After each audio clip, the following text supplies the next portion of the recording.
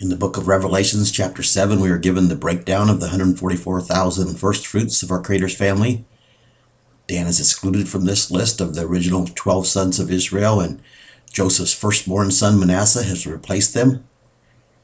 When Israel blessed his 12 sons, he told them what would befall them in the latter days.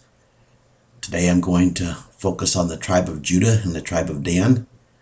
Of Dan, he said in Genesis 49, verse 16, the people of Dan will contend with or strive with one of the branches of Israel. The King James translates this verse to say that Dan will judge his people as one of the tribes of Israel. Obviously, this is an erroneous translation because this tribe is not even mentioned as one of the 12 tribes that will be part of the first fruits. The word for tribe, when properly translated, is the Hebrew word meta. The word used in this verse is not meta, it is shebet, which means a branch or a scion. Both of these words are translated as tribe or tribes in several places, but shebet carries a different meaning in how it is used. In many of its uses, it is referring to a descendant or a group of descendants, but in this case, it is referring to a particular descendant. It is the same word that the King James translated as scepter in six verses earlier when describing the scepter that would not depart from Judah.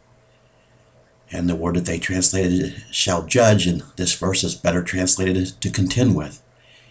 It is the Hebrew word din or dun. The Hebrew word shaphat is means to judge.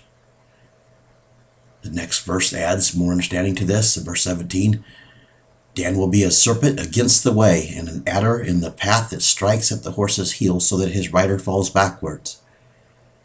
This does not sound like a good forecast for the tribe of Dan. Verse 16 is saying that they will contend with one of the branches of Israel. In verse 10, the branch that will not depart from Judah is singular, not plural. Israel is prophesying of a particular branch that would come from Judah. This is why he says that they will contend with one of the branches. When I get to verses 11 and 12, you will see that he defines and, and leaves no doubt who this branch is that he's talking about. It is Judah who was prophesied would have this one branch of Israel at the end. Of Judah, a few verses earlier, we are told that what would describe them at the end. Verses 8, I'll start in verse 8. Judah will confess your brethren, your hand will gape the neck of your enemies, and they will bow down before your father's children. The children of Judah will be a lion's whelp feeding on the prey that rises up, and you will crouch your knees like a roaring lion. Who will rise you up? The branch will not depart from Judah, nor the graven decrees from between your feet until Shiloh comes to gather his people. This is a prophecy that the Messiah would come through the tribe of Judah.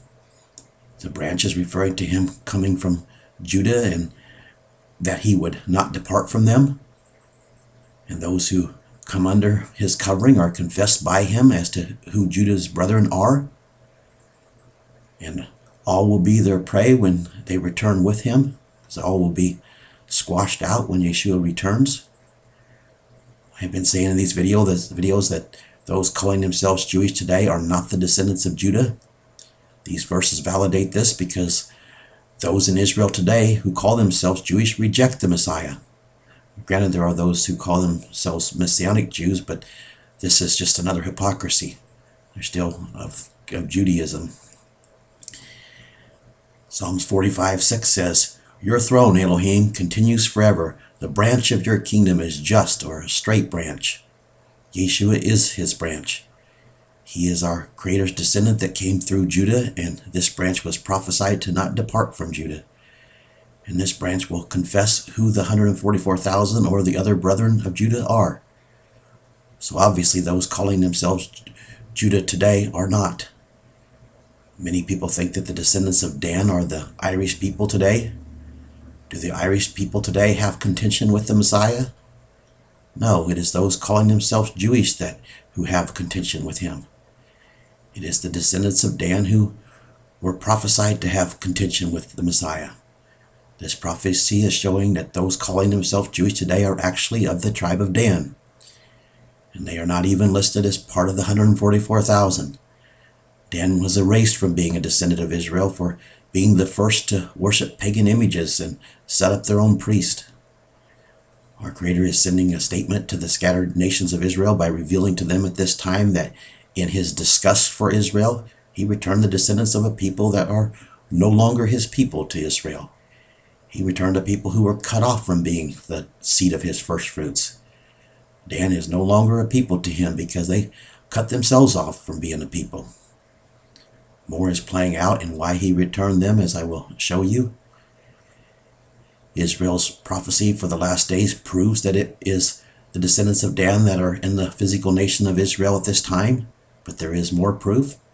After the Song of Moses in Deuteronomy 32, Moses blessed Israel for before he departed from them to die. The blessings that he gave to 11 of the tribes were beautiful, but in the midst of these blessings was a statement to Dan. In Deuteronomy 33, 22, and, Dan, and of Dan he said, Dan is a lion's whelp. He will spring out from Bashan. I read back there in Genesis 49 where Israel prophesied that Judah would be a lion's whelp. Dan's inheritance was north of Judah's inheritance. Both of their inheritances were west of the Jordan. Bashan is east of the Jordan. Moses' statement to Dan is a prophecy that they would be driven out of their land, but that they would one day spring out from whence they were driven. It is not a coincidence that the term lion's whelp was used to describe Judah in the last days as Israel's in, in Israel's prophecy, and Moses also used the exact same two Hebrew words here in relation to Dan. But where are the true descendants of Judah today? They are scattered, as are the rest of the descendants of Israel. The salvation of Israel never departed from Judah. The true Messiah and those who received true salvation through him did not depart from the graven decree, decrees that were given to them. And these people who become the first fruits washed in his blood. He is the branch that was raised up from Judah's number, and he has not departed from his small flock. These are those who, those who are confessed by this branch of Judah the prophecy that Israel gave for the last days tells us that the decrees that were given to us would not depart from this branch of Judah. This is another reason why those calling themselves Jewish today cannot be of this branch. The decrees have departed from them. They have blasphemed them by perverting them. They even have perverted the Sabbath day by fixing it to the to a day on the pagan Roman calendar. Back to Isaiah's prophecy about Judah in, in Genesis 49, he goes on to make it clear that the branch that he was referring to is the Messiah. In verse 11, you will bind the foal to the vine, the colt of the ass to the vine of choice red grapes, and wash your garments in the wine, and your clothing in the blood of the grapes, the blood of grapes. His eyes will be red with wine, his teeth white with milk. These verses tie into Zechariah 9 9 about Yeshua coming into Jerusalem on the colt of an ass, and with the fact that he did come into Jerusalem riding on a colt of an ass. And they tie into the book of Revelation, speaking about the Son of Elohim having eyes like flames of fire. They tie in with the whole process of washing our robes in Yeshua's blood. And they tie in with other verses as well. Scripture is clear that Yeshua came through the descendants of Judah, and we know that they were still in Jerusalem at the time of his first coming. But most of them rejected him and were later scattered, just as the other tribes were scattered to the four corners of the world. The verses in Genesis 49 about Dan and Judah show clearly that Dan would have contention with one of the branches or the descendants of Judah in the last days. And these verses about Judah clearly show that Israel was prophesying that the branch that he was referring to is the Messiah. This all fits together like a custom made glove, especially, especially when you put it together with the third verse that speaks of, of what would befall the tribe of Dan at the end. Verse 18, he says, You will wait for Yahweh's salvation, you will wait for his deliverance. Isn't this what those calling themselves Jewish today are doing? They are waiting for the first coming of the Messiah. The three the three characteristics that Israel gave to describe the tribe of Dan in the last days are one, they will have contention with a branch of Judah, which the Scripture testifies is the is the Messiah. And they will number two, they will be like a serpent against the way and an adder that strikes at the heels of the path that, that causes those on the path to stumble. And number three, here we see that, that, that they will be waiting on Yahweh's salvation. So pretty clear. But discussing as far as the serpent, those calling themselves Jewish today have perverted the path like a serpent indeed. Their false doctrines like Saturday worship have led many astray. The fact that they call themselves Jewish gives them credibility to others so that they are inclined to believe in their false doctrines. Their venom has struck many who were being called to return to their Elohim, and their venom has made many fall backwards. Their blasphemes are greatly responsible for making Yeshua statement, Many are called, but few are chosen, come to pass for many. There have been many who have started coming to their Elohim's call only to get derailed by the Saturday Sabbath or their other false doctrines. And now he is encompassing a people around Dan in these last days to recompense them. He started bringing them back in 1948 to be a witness of his disgust against Israel because even Dan and her whoredom was not as great of a folly against him as their, as their trespasses have been to him. Yet Dan is still cut off and they will be recompensed for their idolatry just as the other descendants of Israel will be. They will not be delivered unless they too return.